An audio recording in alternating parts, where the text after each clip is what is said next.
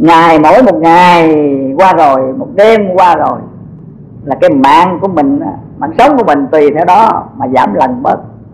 Một năm qua rồi thì cái mạng sống nó giảm lần bớt một cách rất là dễ nhận thức tôi nói ví dụ như là mình lấy cái à, đời nay mình lấy theo cái, cái, cái sự sống của đời nay là trung bình là 65 tuổi đời người. Thì mình ví như giống như là mình có 65 đồng bạc mà mình 30 tuổi là coi như là mình có 65 đồng mà mình xài được hết 30 đồng. Còn mình 25 tuổi thì mình xài hết 25 đồng trong cái vốn mà 65 đồng mình có. Còn 50 tuổi thì coi như mình xài hết 50 đồng mà cái vốn của mình còn có 15 đồng còn như mình phải định cái mức là mình có 65 đồng tới 65 tới cái tuổi mà 61, 62, 63, 64, 65 đó là phải chuẩn bị sẵn sàng trong tư thế hết tiền. Nghĩa là cái gì đó có con cái gì đó con cháu gì đó giao lại hết. Và nếu mà có chùa chiền đó thì giao cho đệ tử đâu đó đàng hoàng hết. Thì tới cái năm mà 65 tuổi là coi như mình hai bàn tay không. Mình sẽ trở về mình làm một cái việc khác ở thế giới nào đó tùy theo cái cái sự tu tập cái tạo phước duyên của mình. Chứ còn không có không có hy vọng mơ màng gì nữa phải. Ấn định nó như thế. Còn ví dụ như mình trên ờ, 65 và 70 là coi như là bây giờ mình mình hưởng cái này là cái lọc này là cái dư. Cái lọc này là bóng dưng tự có.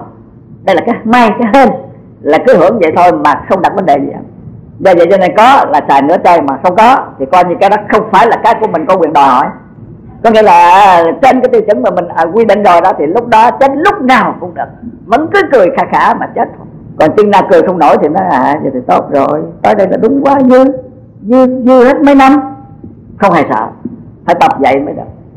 Chứ còn giờ 70 chết cũng chưa muốn 75 cũng thấy còn thiếu 80 cũng thấy chưa bằng lòng 85 đi hết nổi rồi cũng còn tiếc chín chục cũng nói thua ông kia trăm hai. Trời ơi cứ như vậy. Nên ta có người trăm hai trên thế giới ta đăng báo cả tôi sao cho bằng người đó, đó. chứ giờ chết uổng rồi trăm hai tới đó là cũng chưa muốn nữa. Còn đòi gì? Mà đòi như vậy có nghĩa là mình không hiểu được cái vụ quan âm khả tích. Phải biết cái chân lý vô thường. Sát na bất cắt người ta có thể chết từng sát na một. Chúng ta đang ngồi đây nè, nó sống chết từng sát na một. Và cái tai họa đột biến bất cứ lúc nào, từng sát na một mà phải cảnh giác chứ không phải là lơ là được đâu. Cái người học đạo là phải vậy. Người đệ tử phật là phải vậy. Học mà thấm nhuần là phải vậy. Quan âm khả tích, sát na bất trắc do vậy cho nên tôi nhắc cái này tôi nói là nó có căn cứ chứ tôi không phải nói mà như lương nha à. lương mà chạy với bụng rồi là, là, là chạy chạy chạy chạy vậy nắm cái nó ruột nắm cái đồ ruột nắm cái ruột. Nói vậy là không có được.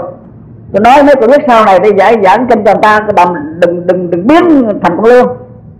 Nói sao mà nắm đâu có nó ruột nắm đâu ruột nắm đâu ruột. Ví dụ như tôi vừa nói vấn đề quan âm phải đáng tiếc.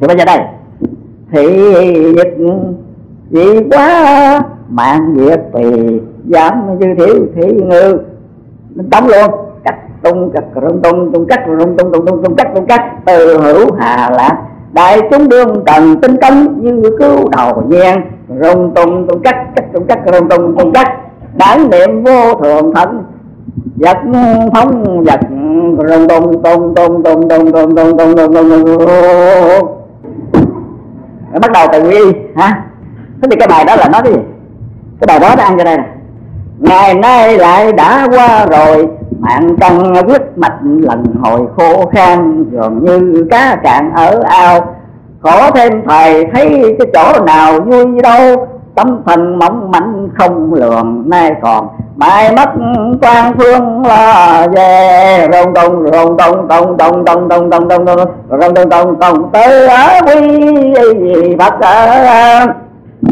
trong buổi chiều đấy đó là ta nhắc nhở mình như vậy, đó là quan âm khả. Khả tích. Phải phải tiếc cái bóng quan âm. Nhất thống quan âm, nhất thống kim. Phải kiểm tra cái tâm hồn của mình trên cái đường tu hành của mình mỗi ngày mỗi ngày. Mình được cái gì? Và còn cái gì mình chưa được? Lẽ tất nhiên là có cái mình chưa được, chứ không phải là mình được hết đâu. Đừng bao giờ tự đắc, tự hào, tự tôn, tự đại. Mình là người đang tu, có cái được được cái nào?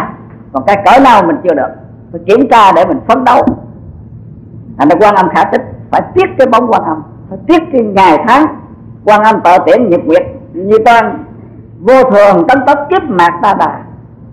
Ngày tháng qua, mau như là bóng câu qua cửa sổ, như là tên bắn. Cho nên là cái sự vô thường là phải luôn luôn là nhớ, đừng có dần già, chần chờ, mà nó đến rồi hối không có kịp. Cho nên cái câu là quan âm khả tích sát na bất tất phải phải đề phòng cảnh giác về cái vấn đề vô thường, từng sát na một kim nhật bất tri, minh nhật sự, thượng sàng bất liễu, hạ sàng thời. Cái người học đạo phải nhớ những câu đó. Sống ngày nay không dễ gì mà biết được, bảo đảm tới ngày mai. Dứt dưới giường, lên giường có thể là vội biệt đấy. Mà điều đó là điều có thật. Chứ không phải là nó mét. Không phải là nó cái kiểu mà như là lương chui với bùn non nắm là ruột nắm là ruột không. Đây là tôi nói đàng hoàng dứt khoát là có. Còn cái câu đó sẽ tích, sát na bậc tắc phải tư duy quán chiếu từng sát na, phải đề cao cảnh giác từng sát na về cuộc sống của mình. Và phải tiếp cái bông quan âm. Ngày tháng nó trôi qua, đừng để nó luống ổn rồi cái câu thứ hai là kim sanh không quá lai thế. Tất tắc tất tắc. Kim sanh mà không quá được lai thế cũng tất tắc. Hiện đời mà mà không được gì, thì đời sau cũng bế tắc cũng không được gì đây là nói về vấn đề vấn đề dựa trên nhân quả ba đời mà nói. Cho nên đây là tôi nói cái này là đã chúng để rồi. Chúng ta phải coi chừng kiểm tra kỹ hành động, thông thối hàng ngày và cuộc sống của chúng ta có an lành hay không. Cái hiện giờ cuộc sống của chúng ta mà thân thối không thanh tịnh, thân là là là ta ưu tư phiền muộn, khổ đau, dày dò, cắn rất lương tâm mặt ủ mài châu, bi thương sầu não dài dài mà hy vọng rằng là kỳ mẫu khẩu đắc a di đà thọ ký. Nói láo, đừng có nói vậy nghe chưa? Hiện giờ kim sanh mà không quá thì lai thế. Đời bây giờ đây là cuộc sống này mà không có an lành thì cái chết rồi cũng không hề có được cái gì, chứ đừng có nói a di đà thọ ký. Câu niệm phật là ai, cái câu phục nguyện ai cũng biết. Hiện tiền phước huệ tăng gia, kỳ mộc hậu đắc a di đà thọ ký hiện tiền là mong có được phước huệ. Phước huệ cho mình bồi dưỡng cho phước huệ mà gian giá khẩn cầu sao có.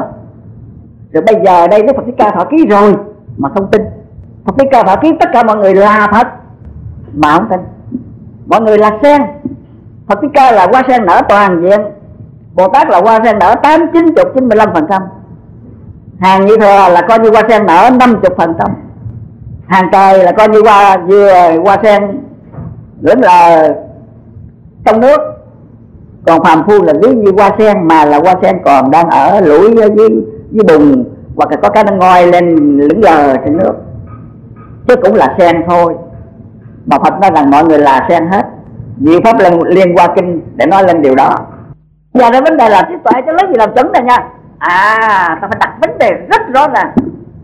Trí tuệ lấy gì làm chuẩn? Lấy cái trí tuệ của những người mà ở cơ quan ra của Hoa Kỳ đó làm chuẩn cái đó gọi là trí tuệ được không? Không, anh làm cơ quan NASA anh có thể làm nguyên tử được, anh có thể bay, anh ráp nối phi thuyền ở trên hay không được. Điều đó gọi là khoa học kỹ thuật anh có. Nhưng mà trí tuệ đó là, gọi là thế trí thế trí điện thông, anh thông suốt về thế trí mà thế trí thông suốt chừng nào, anh không khéo là anh tạo cái nguyên nhân đau khổ cùng gấp hàng tỷ tỷ lần hơn là người không trí tuệ. Tôi nói ví dụ như giờ, trên thế giới người ta đang cảnh giác về Bắc Hàn và Iraq đang chế những cái lò nguyên tử và chế vũ khí nguyên tử. Đó là đang bồi dưỡng trí tuệ đó. Bồi dưỡng trí tuệ đó để chi? Để có cơ hội nào nổ khí xuân thiên là bấm nút bắn quả tiễn mang đầu đạn nguyên tử. Mà đầu đạn nguyên tử ngày nay ờ, trên thế giới là nó bấm nút ở đây, cái bốc là bay trên phá chính cái thành phố trên thế giới. Khác nhau. Thế thì cái trí tuệ ghê gớm đó, nó lại là nguyên nhân của của đau khổ cho bản thân và cho nhân loại cái ông mà trí tuệ không phải là vừa. Mang cái bom mà đang thả Hiroshima, Nagasaki đó, sau này gần chết hả? Cứ là quảng hốt lên.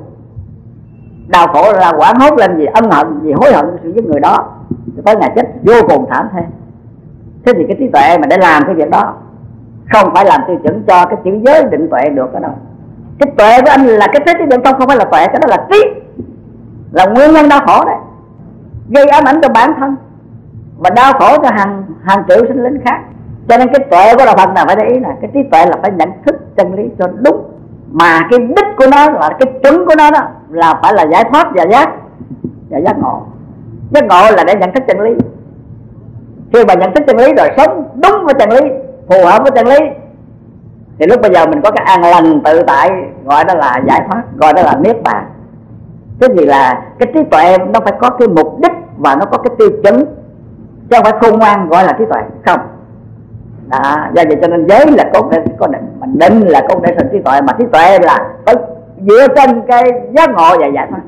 Trên dựa theo các cái khâu pháp khâu khác là không phải của đạo Phật. Cho nên chúng ta học là chúng ta học đạo Phật. Chúng ta nói là chúng ta nói trong phạm vi của đạo Phật. Vì vậy cho nên là ta nói cái gì của đạo Phật chứ còn cái của thế gian khác, ta không có nói. Ta không có quyền bắt buộc mọi người thế gian khác hiểu những cái hiểu của ta nhưng mà ta là đệ tử Phật thì ta phải hiểu cái hiểu của ta. Ai bằng lòng đi con đường của ta thì theo. Ai không bằng lòng, ta có quyền đi đường khác. Mà ta phải nói cho đúng cái của ta. Cho nên là là đời nay mình đừng để cho nó không quá không quá nghĩa là sống cách trống rỗng. Đời nay mà sống trống rỗng là đời sau cũng không có gì. Tháng này mà không hề biết chữ, biết nghĩa, không có vốn liếng, không có nghề nghiệp, do vậy cho nên nghèo khổ lang thang. Đó đó. Thì tháng sau cũng như vậy mà. Tương lai phải xây dựng bằng cái chất liệu của hiện tại. Bây giờ anh phải có nghề nghiệp. Anh phải có vốn liếng. Anh phải có kiến thức về kinh tế. Thì tháng sau anh mới có thể làm ra kinh tế để đời sống anh khá hơn. Bây giờ, giống như không biết, nghề nghiệp không có, giống lý không có. Mà hy vọng rằng tháng sau hoặc năm sau mà giàu có, do thần thánh nào đó ban cho, làm sao có được điều đó? Không bao giờ có à do vậy cho nên là cái từ mà hiện tiền phước huệ tăng gia mà một hậu đắc a di đà phật ký là một sự sai lầm không được bình tưởng cái đó. A di đà phật ký rồi tự tánh của các vị là a di đà phật đó. Cái tánh thanh tịnh, gọi là phật tánh đấy, cái tánh đó là tánh phật a di đà rồi các vị trở về quán chiếu tư duy mà sống đúng cái tánh thanh tịnh đó là các vị là được phật a di đà phật ký rồi. Và đức phật thích ca đã thọ ký cho các vị là tất cả mọi người là phật rồi mà nếu mình không chịu tin cái đó mình không phát huy cái trí tuệ để nhận thức cái đó mà mình cầu tha nhất mới đắc a di đà phật ký là sai lầm. Do vậy cho nên kim sinh mà không quá là lai thế tất cả hiện đời mà rỗng tết trong đầu không có gì hết kiến thức cũng có giới không có định không có tuệ không có thì đời sau cũng vậy thôi cũng bế tắc vậy à, do vậy cho nên là bây giờ mình phải bồi dưỡng đó bồi dưỡng giới định tuệ. Mà học đây tức là bồi dưỡng trí tuệ đấy. Cho nên học rồi phải học là văn văn như tư suy nghĩ là thấy đúng nó là rõ nó là chân lý, nó là sự thật rồi. Mới áp dụng trong đời sống tu hành. Cho nên ngay trong cái học này là vừa giới, vừa định vừa vậy vừa văn, vừa tư, vừa tu. Chứ bằng không á, đời này mà kim sanh mà không quá là lai thế, tất tắc. Hiện giờ mà trong đầu trống rỗng, không có gì hết. Không hiểu biết gì hết. Đối chân lý không hiểu biết gì hết. Vấn đề vô thường. Quan âm khả tích cũng không hiểu để mà tư duy, để mà quan chịu vấn đề nhân quả cũng không hiểu rằng. Vấn đề uh, duyên sanh của giải pháp cũng không hiểu rằng. Tức là là kim sanh không quá này. tức là đời sống mình trống rỗng là không có được đâu. Thành phải bồi dưỡng. Bồi dưỡng đời này